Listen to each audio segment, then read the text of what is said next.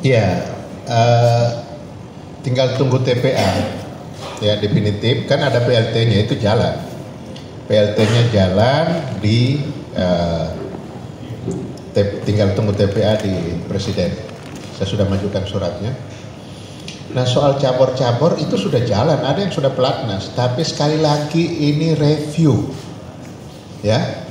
Jadi nggak semua cabur yang mau berangkat kemudian kita berangkatkan, tidak. Kita konsisten dengan apa yang kita lakukan pada saat SEA Games Vietnam. Oke, kita konsisten dengan itu. Cabur yang memungkinkan untuk bisa berprestasi karena target kita Olimpiade. Jadi siapa yang memungkinkan untuk ke sana itu yang akan lolos dari review. Ada cabur yang begitu bersemangat, begitu direview, akhirnya sadar, oke okay, kami siap tidak diberangkatkan karena saya mendapatkan informasi dari tim review. Dua hari yang lalu saya rapat dengan tim review.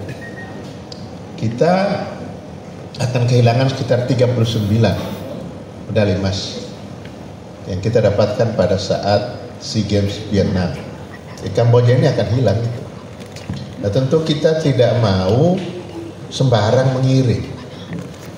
Sebab ini uang negara, harus kita bisa bertanggung jawabkan sehingga hitung-hitungannya jelas. Alasannya kenapa nomor ini kita ikuti karena ada hitungannya. Kenapa kita tidak ikut di nomor ini karena ada hitungannya.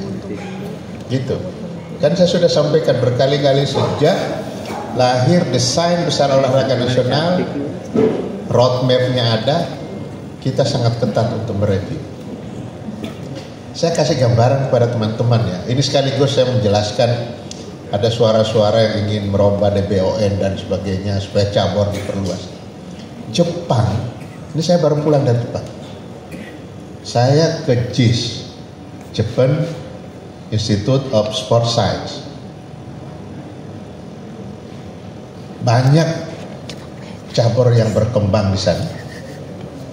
Ya, kemudian duitnya juga berlimpah, fasilitas luar luar biasa, itu yang ada yang mereka unggulkan cuma ada tujuh. Bayangin kita dua kali lipatnya. Dia, seingat saya itu judo, kemudian gulat, kemudian eh, apa namanya? Bukan enggak, karate malah enggak. Eh, anggar, senam artistik, kemudian renang, tenis meja, dan badminton. Saya tanya, itu kenapa? Karena itu yang konsisten menghasilkan medali. Jadi kita masih baik, kita perluas lebih. Nah saya kira harus fokus, gak bisa semua keinginan di, dituruti sementara pembinaan dan prestasinya gak ada. Gitu. Jadi kita akan konsisten. Nah saya berharap pengganti saya akan konsisten dengan itu.